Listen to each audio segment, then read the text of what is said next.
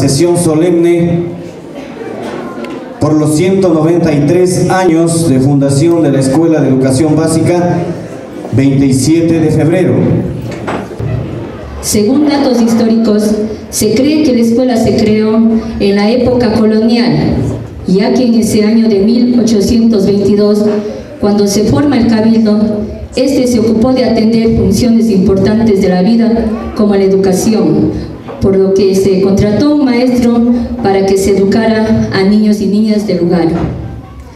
En este año de 1822 se inicia la vida de la escuela, desconociéndose su denominación, hasta la batalla de Tarqui de 1829, de donde se toma el nombre de Escuela 27 de Febrero, en honor a la gesta histórica.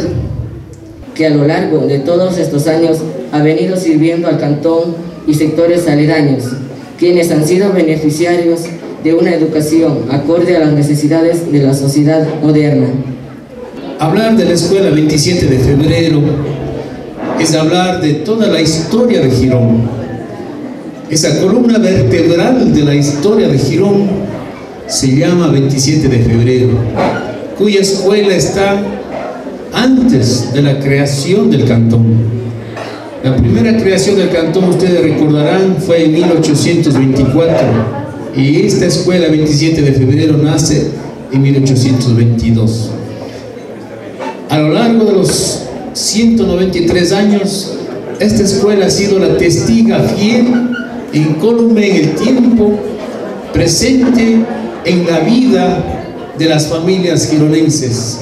Solamente eh, decirles que para la Asamblea Nacional, para el mío propio, llevar una condecoración al mérito educativo, como es el que hoy va a recibir el pabellón de este establecimiento educativo, que no es más que el mérito educativo Vicente Rocafuerte.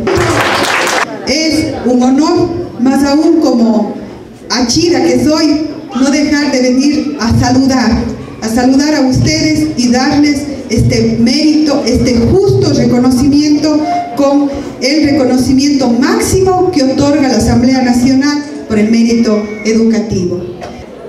Una escuela centenaria y que en los próximos años inclusive va a ser bicentenaria, que llena de orgullo no solamente a la provincia de La Soy, sino a todo el país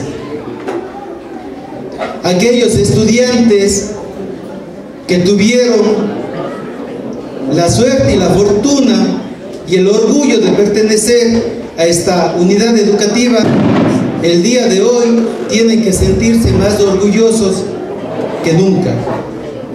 Estimados compañeros, amigos presentes, la educación va más allá de postulados pedagógicos, didácticos o metodologías es la enseñanza que se radica en la fuerza de un pensamiento libre.